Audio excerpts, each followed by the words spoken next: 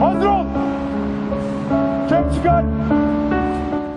Emniyet Genel Müdürlüğü Maliye Bakanlığı'ndan aldığı emniyet müdürü ve emniyet amiri kadrolarını iade edecek.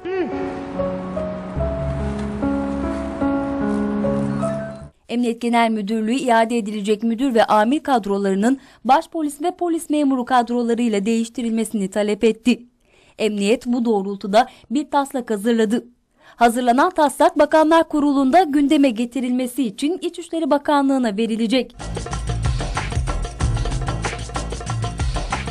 Ayrıca terfi edemeyenlerin zorunlu emekliliğe sevki için Emniyet Genel Müdürlüğü Hukuk Müşavirliğince mevzuat çalışması başlattığı ileri sürüldü.